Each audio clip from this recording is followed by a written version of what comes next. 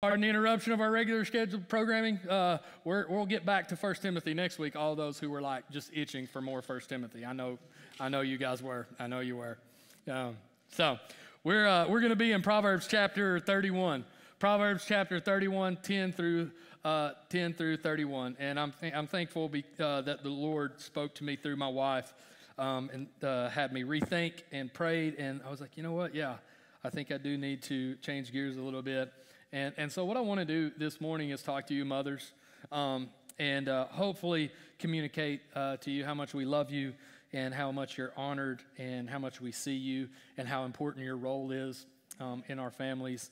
Uh, and not just our families, but our family, our church family, okay? And how the Bible talks about this and what the Bible says about um, moms, wives, and, and women in general.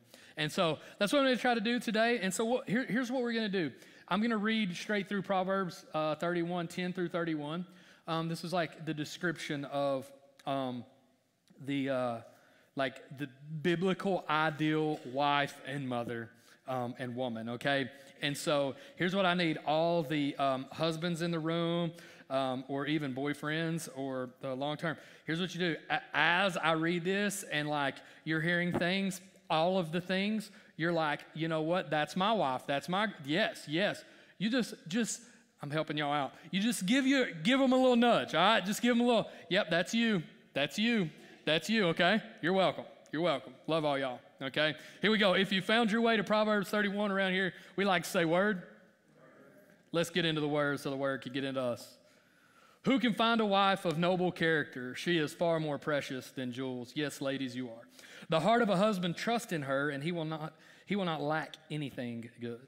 She rewards him with good, not evil, all the days of her life. She selects wool and flax and works with willing hands. She is like the merchant ships, bringing her food from far away. She rises while it is still night and provides food for her household and portions for her female servants. That word portions is also like task. So she's like um, she gives um, she's a she's a business owner who gives her employees task for the job that they need to do that day. Um, she evaluates a field and buys it. She plants a vineyard with her earnings. She draws on her strength and reveals that her arms are strong. She sees that her profits are good and her lamp never goes out at night. She extends her hands to the spinning staff and her hands hold the spindle. Her hands reach out to the poor and she extends her hands to the needy. She's not afraid for her household when it snows, for all in her household are doubly clothed. She makes her own bed coverings. Her clothing is fine linen and purple. Her husband is known at the city gates, where he sits among the elders of the land. She makes and sells linen garments. She delivers belts to the merchants. Strength and honor are her clothing, and she can laugh at the, th- at the time to come. Her mouth speaks wisdom, and loving instruction is on her tongue. She watches over activities of her household as and is never idle. Her children rise up and call her blessed, and her husband also praises her. Many women have done noble deeds, but you surpass them all. Charm is deceptive and beauty is fleeting, but a woman who fears the Lord will be praised.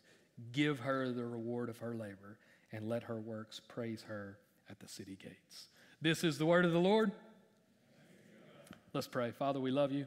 Speak to us through um, your word today. May we be, may we be a church who uh, strives to honor the women, the wives, the mothers, the grandmothers in our lives. We honor them the way your word honors them and the way you honor them this morning, Lord. We love you. We thank you. In Jesus' name we pray. Amen.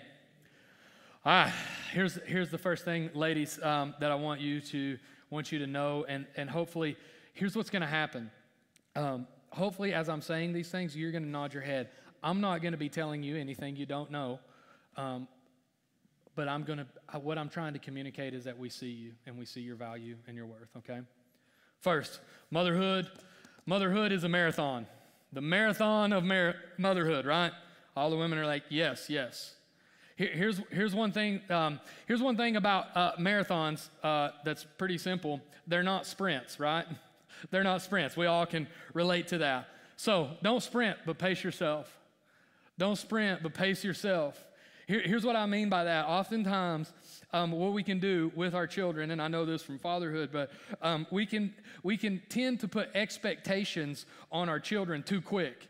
And, and when we're aiming at character traits, which is what we should be aiming at with our children, not just obedience, but forming a character, as I'll talk about, um, it's going to take a while.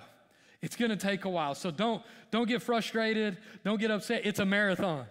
It's a marathon, and marathons need a pace setter. You need to set the pace and, and understand that the expectations need to be drawn out over time, and, and, and that's okay.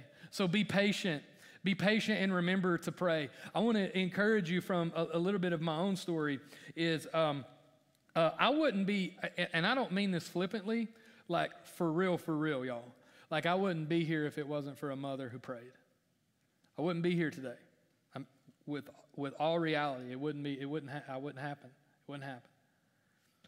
And so be patient. My mother had to be patient with me. If you know my personality, you understand why. Okay? And she was patient and she prayed for me constantly, and that's why I stand before you today. That's why I'm still alive, I believe, with everything in me. And, and there's an old story, there's an old kid story.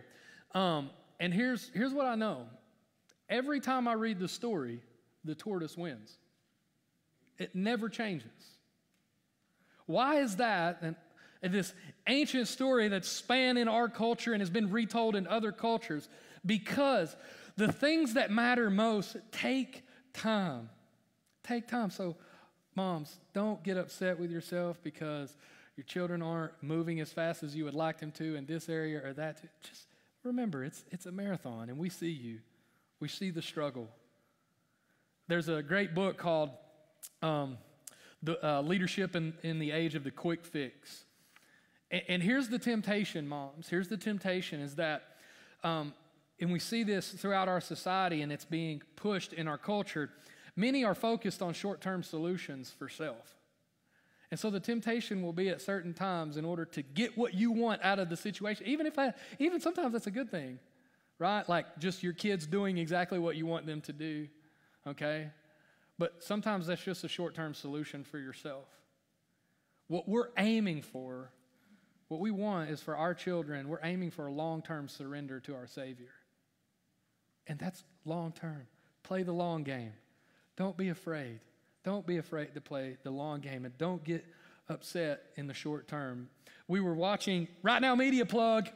Elizabeth and I were watching with the girls yesterday, Right Now Media, and there's this show on there, Stories from the Storyteller, and it's um, uh, it's Jonathan uh, Evans' family, and it's a cartoon of his family, and they do this thing or whatever, and he tells stories about practical things that's going on in their life. And there was this, there was this one episode where um, all the kids were, they went camping.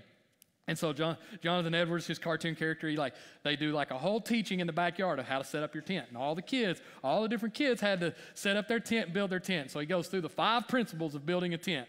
Okay, and so then they all go out, they all go out camping, and like one kid actually goes through the five principles. The other, the other two tents that the other kids had, they like left off like staking it down, and and one like put their tent under a tree with like broken limbs up in it and stuff. And so so it gets to the end, and and the reason they the reason they didn't follow through is because they got out to the campsite and they wanted to go they wanted to go canoe in the in the lake that was there. They wanted to go chase after a skunk. One one kid did, so it's all funny, right? But it gets to the end and it's middle of the night and the wind blows and blows one tent off to the side, you know, and uh, and then it blows the tree limbs out and it crushes down on another tent. And so they basically have to sleep in, in the rain all night. And um, the kids are standing there uh, the next morning and they're all like exhausted, right? Because they haven't slept and they're all soaking wet. And uh, and Jonathan average uh, kids are like, oh, we're so tired. And he's like, why are y'all tired? And they're like, our tents, you know. And he's like, he says this whole thing. He's like, well, he's like, you know, when you try to take, um, uh, when you when you try to take the easy road, it's actually the long road. And when you take the long road, it's actually the easy road. And one of his kids stands up and says, Yeah, yeah, yeah. What dad's trying to say is taking a shortcut will cut you short. And I was like, Yeah, that's it. That's it. So, right there from the mouth of a cartoon, Taking a shortcut, moms, will cut you short and your children short. Play the long game. Play the long game. The Bible says it this way in Proverbs 31, verse 14 It says she's like a merchant, she's like the merchant ships bringing her food from far away. That's planned out, that's strategic. Right? It's not flippant, it's not short term, it's not let me get the quickest thing. It's been planned. Boom, and it arrives on time. She evaluates a field and buys it. She plants a vineyard with her earnings. Proverbs 31 16. It's thought out, it's long game. We're playing the long game here. So, moms, play the long game. Pace yourself. Don't be upset if things aren't going in the short term like you thought they would. The other thing that's true is mother, mothering is parenting and parenting is partnership. Parenting is not meant to be friendship only. We live in a culture, I don't want to spend a whole lot of time on this, but it's like it seems that parents um, want to be friends or, or, that's being communicated to us from our culture, outside culture. It's like, oh, you should be your kids' friends. And that's fine. You should develop into a friendship, yes, but that's, mature, that's a mature relationship. Parenting is a responsibility of shaping and forming children, not letting them shape and form themselves. That's just true. You're forming character. Here's, here, here's this piece I was mentioning just a minute ago. This is less about what your kids do, and it's more about how they do what they do. We're shaping character. This is character formation, not just forcing them to do actions that you prefer them to do. Right? This is what it means to be a mother. This is what it means to parent. So point out the why. I remember a conversation with my wife. We, we've had this multiple times, and one of the main reasons um, we went into student ministry um, uh, we felt led to, but one of the things that God used to lead us to it was there were often times in the churches that we grew up in that no one explained to us the why, they just told us the what. And I was the kid, y'all have heard me say this, like you know me well enough to know. I'm the kid who's always asking why. Like that's not sufficient. Don't tell me what. I need to know why. I need to know a why. And here's what's cool about that the Bible doesn't just give us a bunch of what's, in fact, it focuses on the why. It focuses on the why. And so, so think about think about what you're telling your kids to do and give them the why. I wish, I, here's what, I don't know. I'm going to be honest, I probably wouldn't have made better decisions when I was a kid just because I was rebellious, but at least I would have known what the decisions that I was making a little bit better. I would have understood them a little, I would have known the why behind it. I would have known the why behind it. And that's what we tried to do in student ministry. We tried to give them the why as often as, and as much as we could. And so, parents, moms, know the why. Focus on forming their character, not their action, because actions will follow character. Did you hear that? Focus on their character. Form, shape their character because actions will follow their character. Here's how you know this, and y'all, y'all know this to be true. When times get hard, you know what you don't fall back on? What you've been told to do. You fall back on your character because it's, it's automatic. You just do what's there, it's your default. When things get tough, pressure's on, emotions high, you fall back to your character, you fall back to your default. So, what we want to do is we want to raise children who know how to operate from their character and, and have a character that's good. We want them to operate well in the hard times. The only way to do that is to shape their character, right?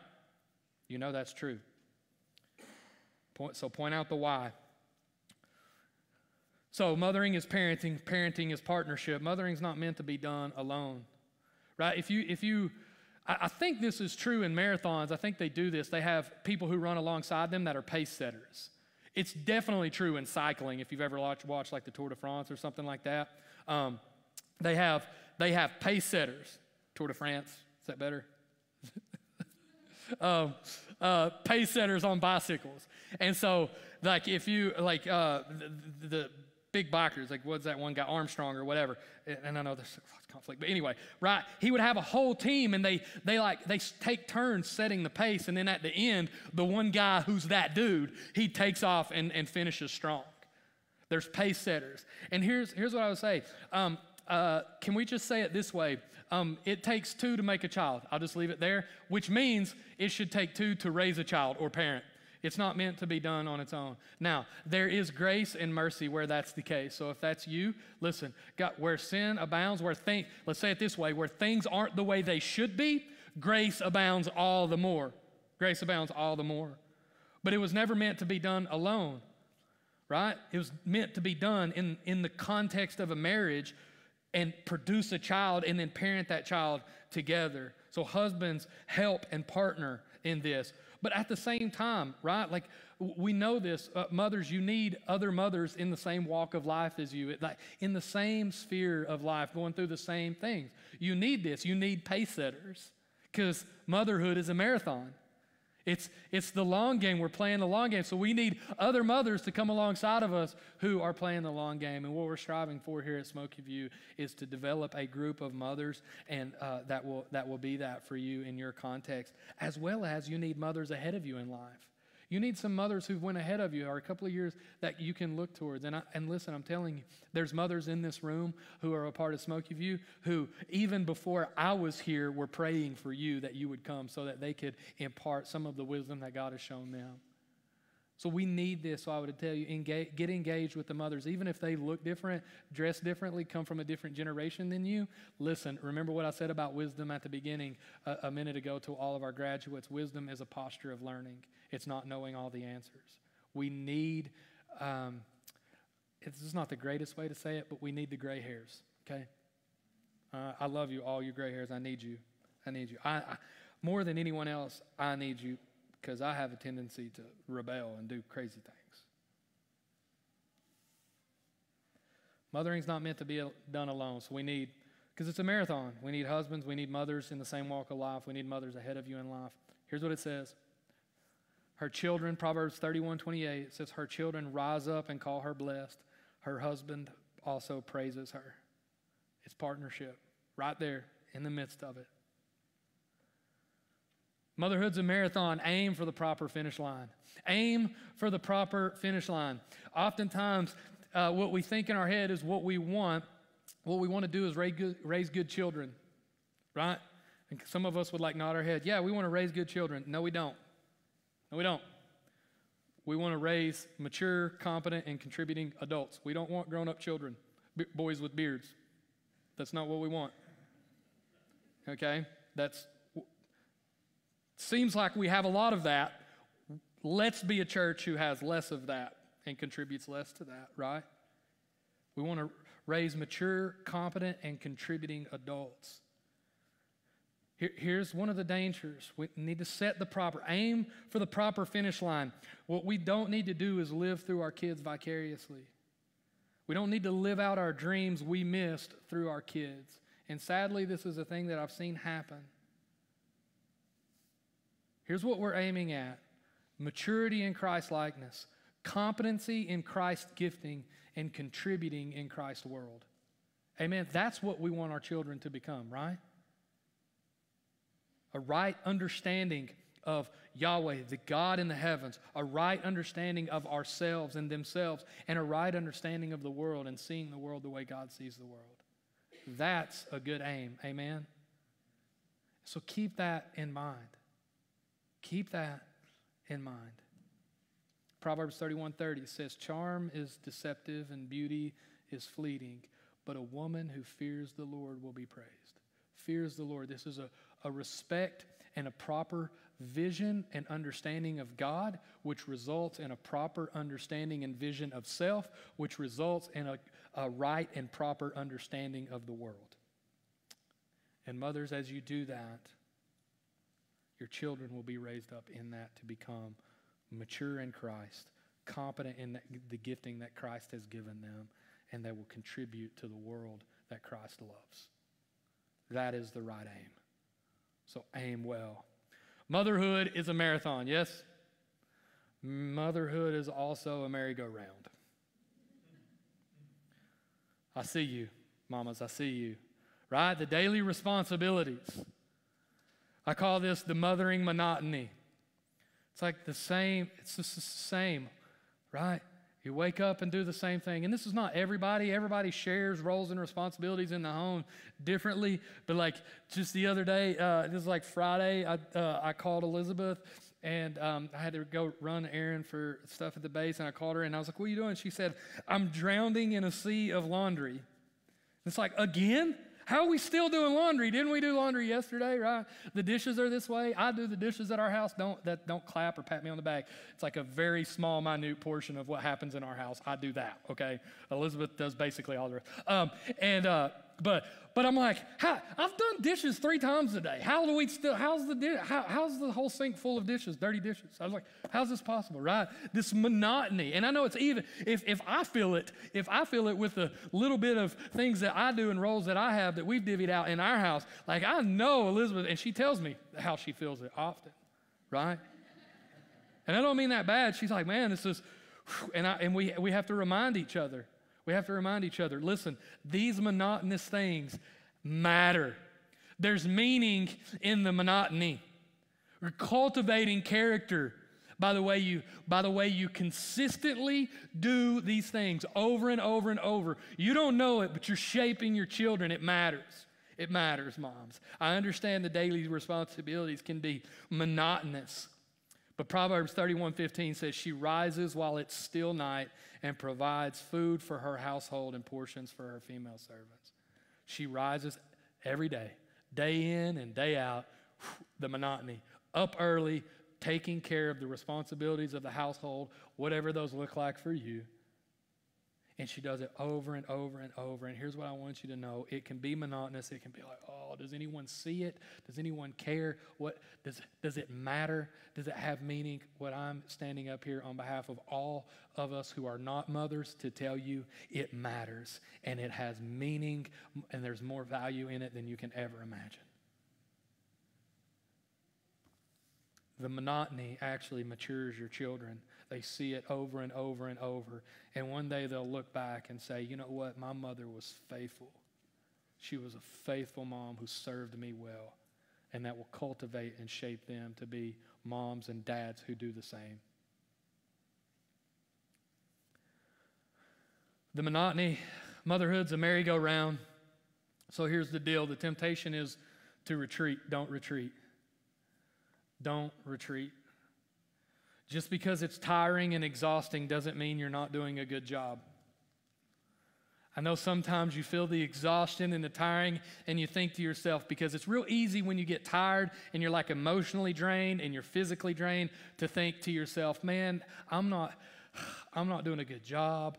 I'm not, I'm not, this is not working. My kids are going to grow up to be chaos monsters, you know, boys with beards. And I don't know what the equivalent of girls would be with that. I don't, I don't like the, the thing that just came to my head. Um, uh, yeah. Uh, so we'll just move on from that. Do you get, you get what I'm saying? We don't want that. And it feels like that sometimes. We get we can get tired and we get physically, emotionally drained, and we're like, man, am I even doing anything that's like contributive? Am I is this working? Is this am I doing anything of value? And let me again, just hear me, hear me. Don't retreat. Press in. Motherhood is a merry-go-round. It's gonna feel like, oh, I'm here again, oh, I'm here again, this thing again, this thing again, this thing again. And it's valuable, and it's it's valuable. Hear me, hear me, hear me. Don't don't retreat. The other thing that I would say about this is don't let everything and everyone else determine your rhythms in your home. Don't let everything and everyone. Here's what I mean, moms. There is a um, there is a temptation to just you feel tired, and so it's like, oh, I don't want to do this, and so doing some tasks that need to be done, like scheduling out things and, and planning what your weekend looks like and those types of things, you can allow just all the demands of life to dictate your schedule. Moms, don't do that. Don't, don't, don't do that. Don't let everyone else determine the rhythms of your family. I, I want to bring your uh, attention to there's a story in the Bible about this guy named Moses. Uh, Stu talked about him earlier, but when he was um, just a, a, a, baby in his mama's womb, um, here's what was happening.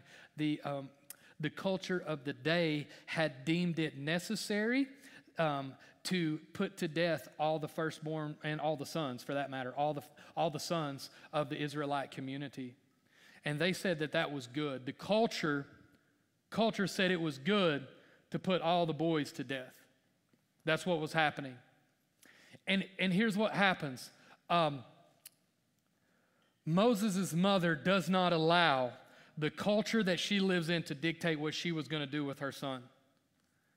And so she makes a plan and stands against it. And Moses, and what ends up happening is Moses is born, he's raised in the Pharaoh's house, and becomes a becomes the, uh, the one who leads Israel out of slavery and into freedom.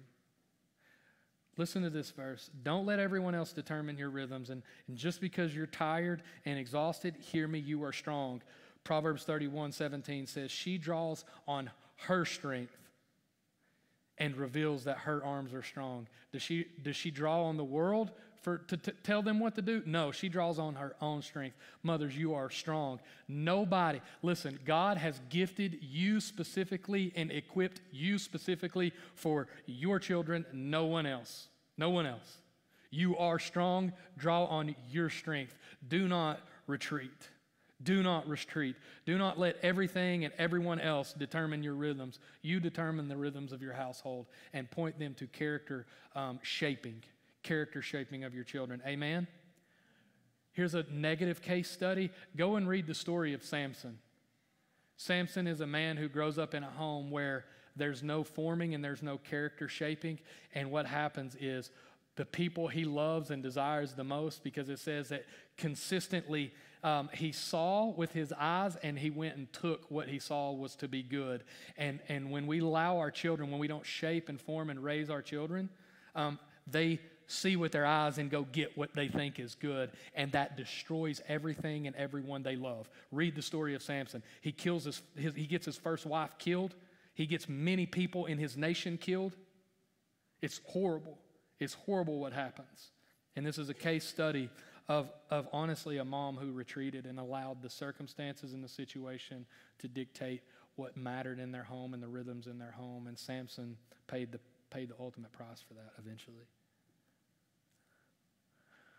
Motherhood is a merry-go-round, so one of the things that you need to put in is what I would call disruptive rhythms. Disruptive rhythms. Uh, what I mean by this is conversations about the most important things in life. Conversations the schedule can get busy and things. We got all these responsibilities, this daily monotony that we've been talking about over and over in the merry-go-round, all of these things that you have to do, and it can, it can just, you can just get on for the ride and you just go. But what we need to do is put into place some disruptions from the ride of the merry-go-round. And have conversations about the most important things in life.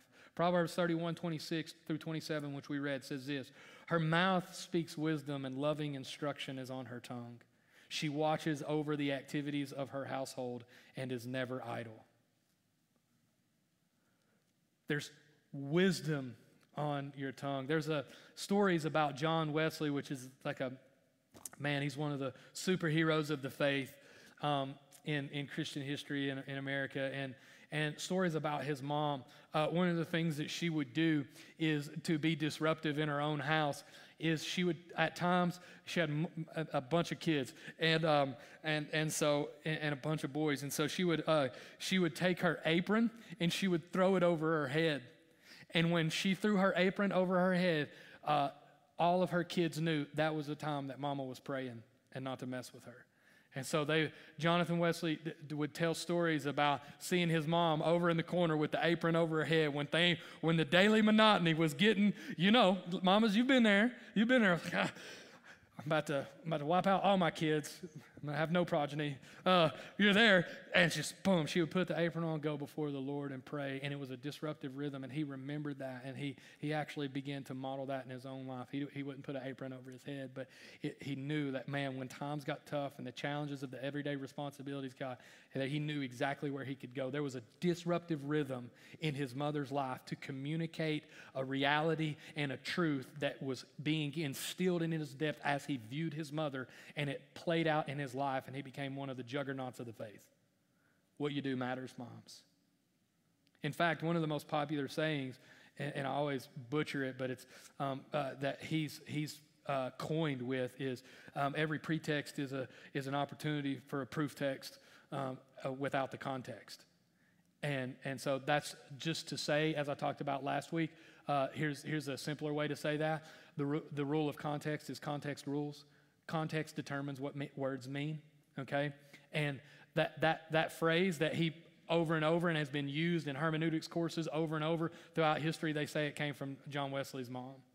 And so she would, as she would teach her kids how to read the Bible and what the Bible said, she would tell them, you got to read it in the context. Amen. This was a wise woman. Her mouth spoke wisdom and loving instruction was on her tongue. Mamas, let me hear let me tell you this morning, there's wisdom and loving instruction on your tongue. Don't give up. Have some disruptive rhythms of conversation. Find it in the car. Find it here, find it there put it in. Disrupt the daily rhythms and activities of life to communicate with your kids about Jesus, about friendships, about their dreams and goals, about economics, age appropriate, about politics, age appropriate, about history, about science, all of these things. Mama, there is there is wisdom on your tongue and your kids need to hear it. Amen. Motherhood is a merry-go-round. Moms, we see you. We know it's a marathon, it's a long journey, long it's also a merry-go-round. We see the monotony, we understand, and we love you. Lastly, motherhood matters. Nothing novel there, no clever statement. It's just true. Straight to the point. Motherhood matters. Let me give you four or five reasons why. Your wives, mothers, and families first as your responsibility to the Lord and the world. We here at Smoky View will always strive to honor that and encourage that and serve you towards that first. You're not a member of this church or somebody who attends this church first. No, no. You are a, you're a wife, a mother, and you are a family first. This is very clear. Paul points this out. Men, we looked at this in 1 Corinthians. Timothy, we looked at this last week and how he's, he said part of the thing that was happening with the church and the structure of the church was usurping the home, and the home is the, to be first priority. The family unit is to be first priority. We, we know this too. Here, here's what's wild Jesus is on the cross, the most tragic moment, broken moment, the most easiest time to be self-focused. He speaks seven times there in that uh, in that whole scene, and one of the times he looks down and makes provisions for his mother. Think Jesus doesn't value mothers?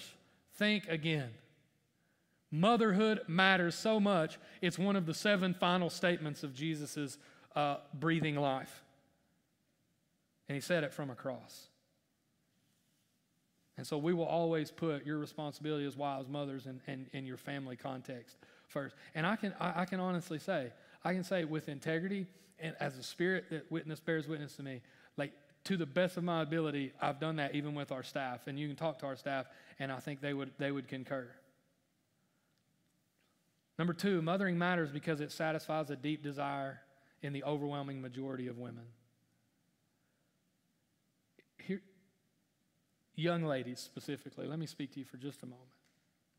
There's a whole narrative in our culture that what will satisfy the deepest desires of your heart is that you go out and you live your life and you do all the things that you want to do and you get a career and, and you uh, travel the world and you do all you and, and that children will be something that holds you back from that. There is nothing further from the truth. That is a lie from satan. Don't what i'm not saying is not don't pursue a career. I'm not saying that. Pursue a career. Did, we read the verses right? She buys and sells land and gets earnings from it she, she makes linens and hustles that out, on, out there. She does lots of things. She's a business owner. Pursue her career. You, you do not, you do no, here's what we cannot do, moms and dads. This is true for mothers and fathers.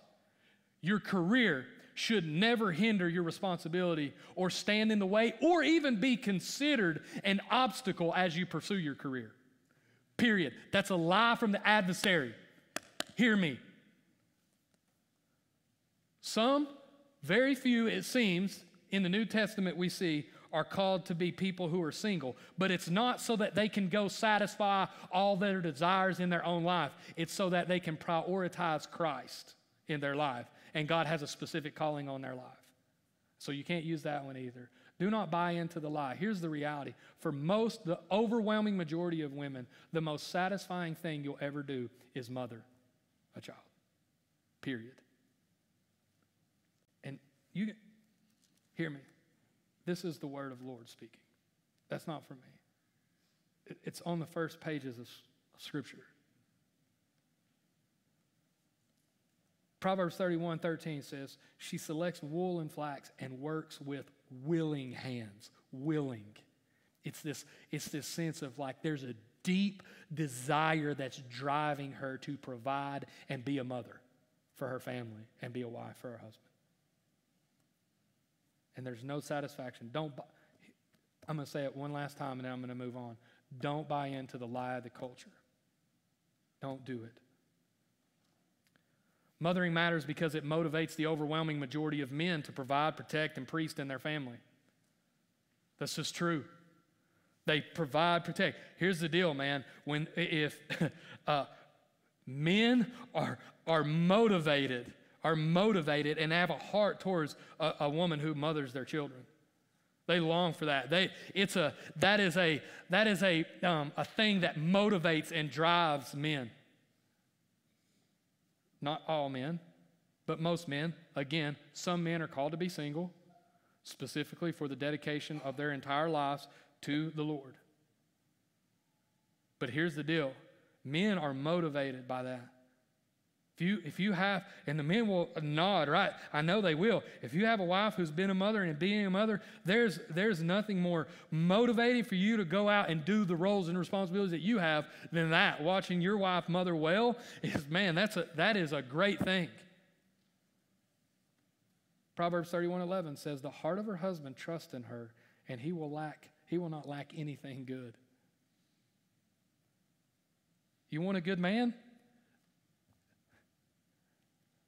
Strive towards preparing yourself or being a good mother. And most often, what will happen is the man will follow suit and be motivated to be a better man. Most often. Mothering matters because it shapes our future. It shapes our future.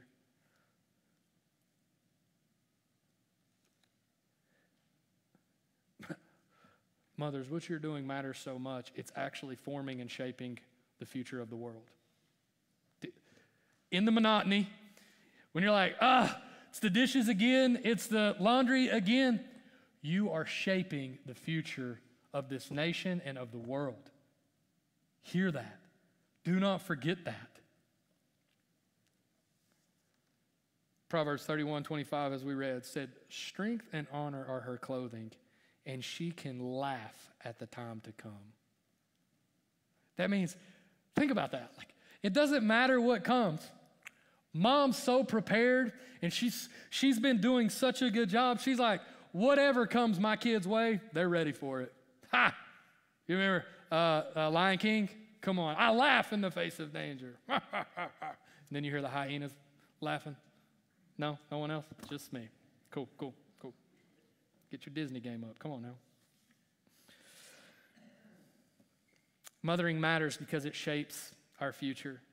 Mothering matters because it is a part of our first command given in the garden. I mean, right out the gate, as I've already said this morning. God blessed them. This is Genesis chapter 1, verse 28. God blessed them. God said to them, Be fruitful and multiply, fill the earth and subdue it. Two things bear children, husbands and wives, man and woman, have children, and subdue the earth, rule and reign over the earth. That's our command. Do that. So, mothering matters. It just does. And so, here's, here's what I want to tell you, moms. Mothering matters, and today we see you, we love you, we pray for you, we acknowledge you, and we know that you're not always valued like you should be, but you are of unimaginable importance to our lives, our families, our church, and our society. Today, you are loved, you're honored, and I speak for everyone who's not a man. Here's the truth, uh, or not a, a mom. We, we, I could stand up here and speak all day, and it wouldn't do it justice. We don't have words to communicate to you the value that you bring into our lives. So I'm just going to read what the Bible says, what we just read. Many women have done noble deeds, but you surpass them all. Give her the reward of her labor, and let her works praise her at the city gates. Do you see that? You, here's all I can say you surpass them all, moms. You surpass them all. You deserve a reward, and your works should praise you. And we want to praise you and honor you this morning.